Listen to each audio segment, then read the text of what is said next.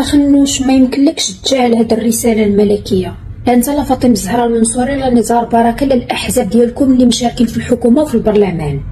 الملك محمد السادس رفض حضور البرلمانيين ديالكم لحفل عيد العرش والحفل الولاء. الملك محمد السادس سخط على الأحزاب ديالكم وما بغاش يتلاقاهم ما بغاش يسلم عليهم وما بغاش ولائهم الملك محمد السادس سخط على الطريقة باش طلعتوا هاد الناس للبرلمان. يعني سخط على الطريقة باش كتوزعوا التزكيات في الحملة الانتخابية. للمافيوزيين ورؤساء العصابات ديال المخدرات وديال العقار. باش كتاخذوا فلوسهم كتحطوهم على رأس اللوائح الانتخابية باش يشريوا أصوات المغاربة المفقرين والطماعه وليزانفلونسوز ديال انستغرام باش يديروا لهم الحملة ويطلعوا للبرلمان. يعني أن برلمانكم مشبوه.